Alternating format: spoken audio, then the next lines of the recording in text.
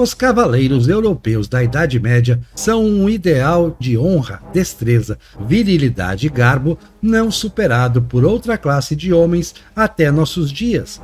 Como Portugal passasse em guerra nesse período, primeiro contra os islâmicos, depois em confrontos civis internos e contra os vizinhos Leão e Castela. Os cavaleiros constituíam uma classe de existência contínua no país. Eram nobres, grandes senhores de terras ou contratados e treinados por nobres. A partir do século XII surgem os cavaleiros freires, templários, hospitalários e das ordens de Santiago e de Avis, novidade surgida entre os cruzados da Terra Santa. Cada uma dessas confrarias nunca contou com mais de 100 cavaleiros em Portugal, mas eram os únicos em prontidão e treinamento permanentes. E não era tão pouco. Os ricos homens mais fortes dificilmente conseguiam armar adequadamente mais do que 50 cavaleiros lanceiros, a elite da elite militar.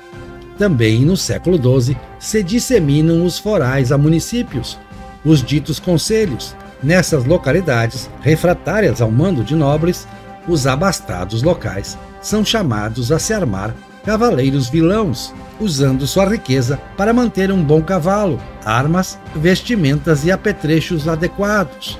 Dois séculos depois, a honra não compensa mais o gasto e uma série de leis será editada para obrigar quem tenha determinada renda a contribuir com essa força armada ao conselho e ao rei.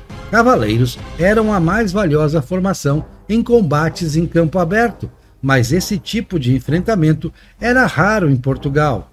As batalhas de Navas de Tolosa e do Salado tiveram participação da cavalaria portuguesa, porém ocorreram fora do território nacional.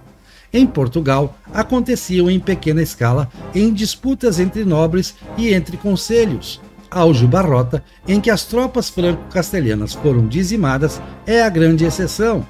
Nela, os arqueiros e principalmente os besteiros se mostraram mais decisivos do que os cavaleiros. Arma de uso disseminado na Europa, a besta conheceu em Portugal as primeiras forças permanentemente treinadas de especialistas em manejá-la. Os besteiros de conto, como foram chamados, recrutados e organizados nos conselhos, eram poucas centenas no final do século XIII, cerca de 1.600 no reinado de Pedro I e 5 mil na terceira década do século XIV, após a tomada de Ceuta, no norte da África. Assim como os cavaleiros, não passavam a maior parte do tempo treinando ou combatendo. Não era ainda o tempo dos exércitos profissionais de dedicação exclusiva. Dos 40 besteiros de Guimarães, em 1348, 11 eram sapateiros, 8 alfaiates, 3 ourives. No tempo da Reconquista, até 1249, os fossados eram a forma clássica de obter pilhagem ou simplesmente enfraquecer o adversário. Incursões rápidas podiam penetrar até 200 quilômetros em terreno inimigo. Para o sucesso dessas ações e também para o deslocamento de tropas destinadas a cerco, os adaís especialistas em reconhecimento prévio do terreno e conhecedores do oponente se revelaram imprescindíveis. Foi o tempo de Geraldo Sem Pavor, o Cid português, que ao cerco prolongado preferia a emboscada e a tomada de muros citadinos e fortalezas pelo ardil, a traição ou aproveitando momentos de distração.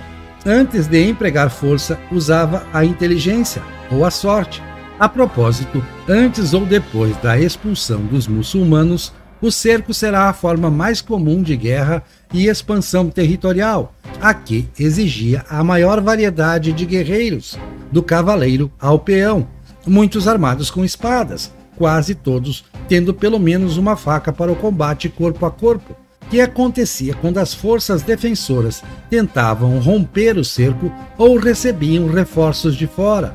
Exigia também mão de obra auxiliar, como os mestres que cuidavam dos engenhos de ataque e de defesa, catapultas, torres, etc. Honrados e garbosos ou não, os guerreiros portugueses deram forma ao país, três vezes maior do que o condado portucalense de que se originaram.